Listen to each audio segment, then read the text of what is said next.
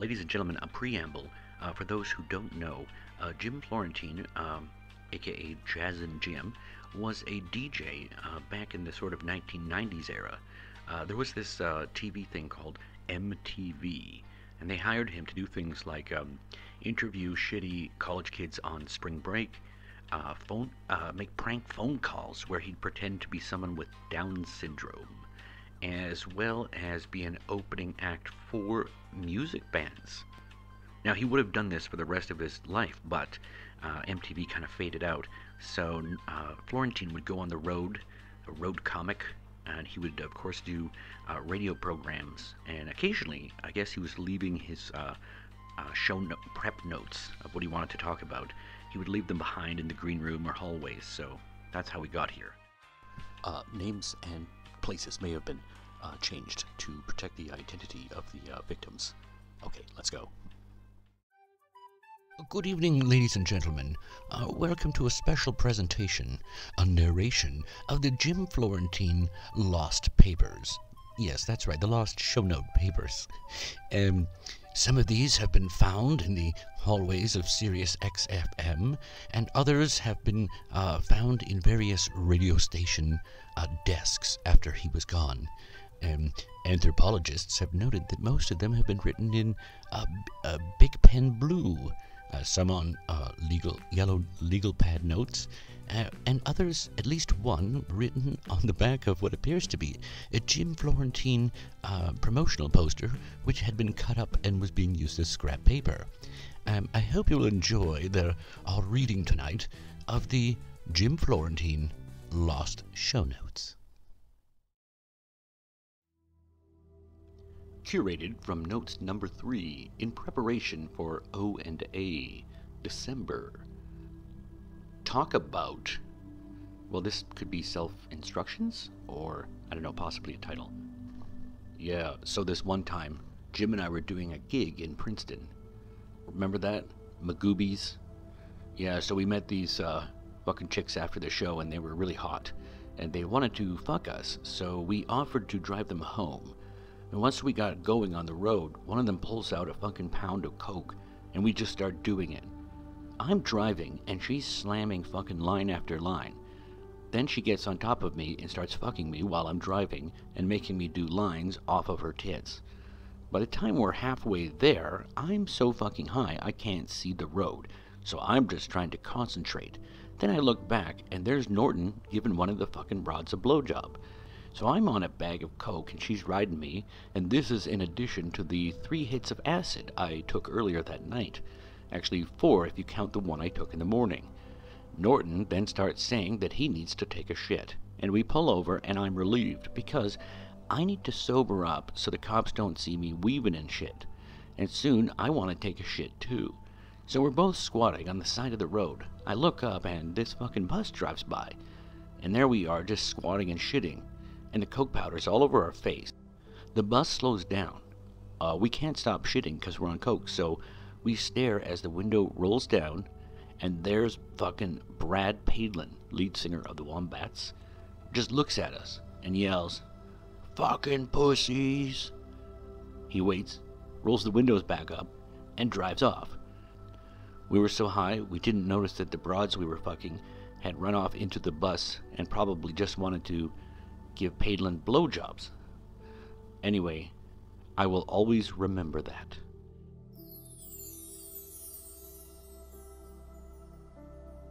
Curation number two, found on the desk of a radio station. There was this one time at Battle of the Bands that took place there in fucking where? Jersey. The fucking Jersey Dome. That's fucking demolished now, and it's a Cinnabon. But back then it was fucking huge. Uh, like that was like in 88 and the battle of the bands thing was huge. So i'm opening and it's like fucking madness and it's fucking still open seating back then. Well they don't do that anymore after so many trampling accidents. So i'm like on stage and they're throwing fucking anything at me. Fucking glass bottles zippos and i'm dodging. Then one bottle bounces off my shoulder and i'm like fuck. And then i look down and in the front row, this fucking broad with the biggest tits I ever saw says something and throws what I think is a fucking softball or something, but it's a huge ball of coke.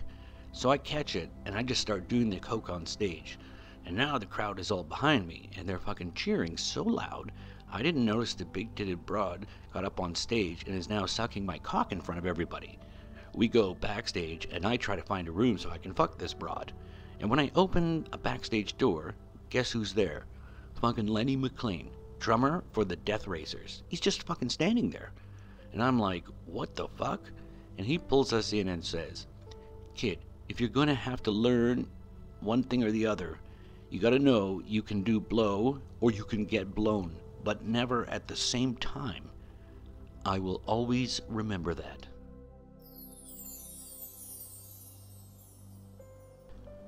From curation number two. I remember this one time I was at Funkin' Woodstock too, and if you remember, that was the one with Funkin' what's his name, Mark Learman, lead guitarist for A Thousand Snakes. He was so pissed because he fucking signed on, but I didn't realize, and neither did he. It was a three day festival, so he was fucking bored and he'd sit in his trailer all day doing blow and acid and asked me to do it with him. I'm like, okay, but I'd already done six beers that morning and a hit of acid, so I'm already buzzed. And he's like, here, try this. And it's a fucking chunk of fucking ecstasy. But like, not like a pill or shit, but like, imagine like a chunk of drywall you'd pulled off a wall or something. I can't eat it because it tastes like shit to chew, so he gives me a bottle of fucking 90% vodka to chase it down. That's when he tells me the ecstasy was fucking pure and soaked in acid. And he wasn't kidding because 20 minutes later I could barely talk. And Learman says to me, Hey, what's a festival without getting high? And I look over and there's this fucking naked broad sucking on his cock. So I'm high and I don't even notice, but now I'm fucking her up the ass. The next thing I know, I got three minutes to get on stage, so there I am running. I get on stage and hear this from the crowd. Dude, your fucking fly is undone. And I look down like, what? And my zipper still was fucking halfway down from fucking that hooker up the ass. Talk about embarrassing moments. Yeah, if you watch the VHS tape recordings I have at home, you can actually see my zipper is like halfway down, but it's not noticeable because her feces was smeared all over that part of my pants. I'll never forget that. Jim Florentine. From curation number one, found on the bottom of a radio station's bathroom floor. This other time, Funkin' Norton and I were opening for Grand Wizards. Remember that in Poughkeepsie? But that's before Jeff Marsh. You know, he was the lead guitarist. So, okay, so that was before their third album, Space, came out. Uh, so they weren't that big yet, but they were still pretty popular. So that's before Gordon Lees took over as the lead guitarist. No, wait, that was after that, because Lees actually did sing on that second album, and I think that they still had Jeff Slang drumming, but whatever it was, Marsh is who was sitting in the green room when we show up, and he's already finishing a big bottle of gin, and he offers some, but we'd already drank a bottle of vodka and some fucking pills, so we tried to say, nah, but then he turns to Norton and says, What's with that Florentine? Is he on the wagon? And then Jim says, Nah, it's not that. It's just that he's a pussy. And I'm like, Fuck both of you. And I grab this bottle of gin sitting there and start chugging and chugging. Then fucking Marsh, like this is before their third album came out in 91, he's chanting like, chug, chug, chug.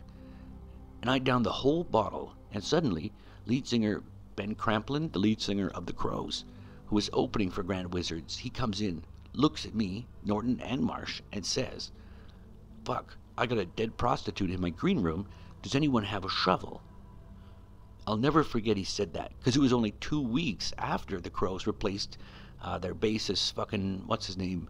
Uh, oh yeah, Bon Molly. They, they replaced him with Barry Scott, which was just, that's just before their second album was coming out. So, that's why I'll never forget that. From curation number four, found in an ONA Sirius XM uh, green room. This one time, we were on a fucking MTV spring break, and that's back in the MTV days. That's the one where they did Cancun, and that was like the easiest gig because all I only had to do was some interviews in the afternoons and walk around, and all these uh, fucking college kids were handing me beer, weed, acid, and ecstasy was pretty much legal in Mexico at the time, so we were just eating those like candies. And by noon, I'm already on my 28th beer and snorting lines off this fucking college girl's tits by the pool. The producers, well, they tell me they want to do some fucking extra shit for like background shots or something. So I'm like, who cares? I figured that I'll just do these three lines off her tits and then quickly chug down my 30th beer. And I figured the ecstasy will keep me alert, and I swallow them like a handful of them. Uh, by the time I get to the shoot, I'm fucking buzzing. And all I'm supposed to do is like walk up and down the beach. You know, they film it for splicing in later. So while I'm doing that, I look over and I swear there's this fucking merman or some shit, like a like a fucking giant sea creature thing, but like with human legs, and, and it's coming at me. I mean, I, I, swear to you, it looked as real as I'm looking at fucking Bob Kelly here. I mean, like it wasn't as fat, but you know what I mean. So I start fucking panicking because the fucking monster looks so real and it's coming at me. I take my microphone and sort of hold it like you would a knife, and I do start slamming the fucking blunt end into this fucking sea creature thing, and just like over and over, just hammering it in. And finally, some fucking Mexican security guard or something comes over and he grabs me. I don't know if he was Mexican, but he hits me with a taser. And I don't feel a thing because I just keep slamming my microphone so hard it breaks. And now I don't realize it was the sharp plastic. It was now gashing the shit out of this thing. I just remember blacking out and waking up in this fucking room like, what, where the fuck am I? I look over and there's Shannon Watts, our producer, and her whole face is fucking bandaged up and bloody and shit. And she says, Why? Why did you do this to me? And starts crying and fucking shit. Later, I realized that she was the one I was hallucinating and shit. And that's when it hit me. Oh, fuck. Someone must have dosed me. And I think probably when I was snorting coke off that chick's tits by the pool, I suspect somebody put something in my fucking beer.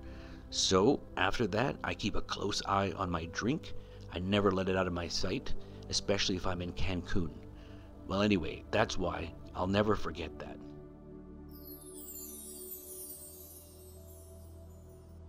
Our next is from show notes left behind at the now defunct Most Offensive Podcast on Earth. Things to Talk About. Again, not sure if that's a title or instructions to himself. This one time at Rams camp, like that's back in 2002, like when they'd replaced, you know, Jerry Moon as quarterback and they'd fucking signed Continent Walker. So they invited me to training camp to do this fucking promo thing or whatever. So I'm psyched because the Rams were on my fantasy football that year, like for an eighth place finish. But that's also because I didn't know Alron was coming back that year. Like nobody knew. So it's not just me that didn't know that. I get there and uh, it's fucking Al Breezerman himself. He shows up and I'm like, fucking wow, because he's probably my favorite GM besides GM Bryn Zellman. So I'm like, holy shit, this is my chance to meet him and I got to get a photo with him. But he says, hey, I know you. My son watches you on MTV and he says you're really funny.